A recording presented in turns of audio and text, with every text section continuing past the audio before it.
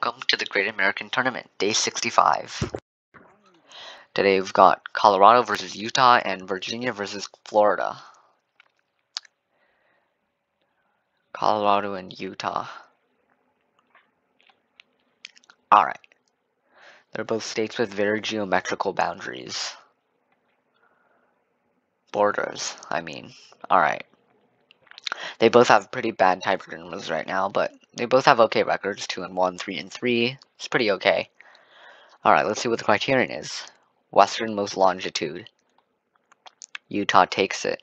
Utah is, in fact, more western than Colorado, Western Washington University. Um, Alright, next one.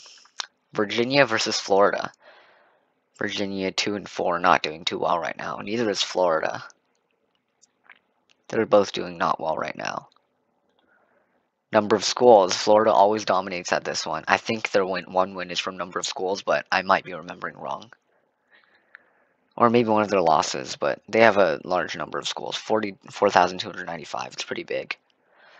It demolishes Virginia's puny 2,166 for starters. 1.98.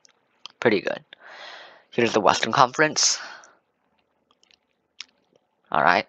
Here's the Eastern Conference. Alright, thanks for watching.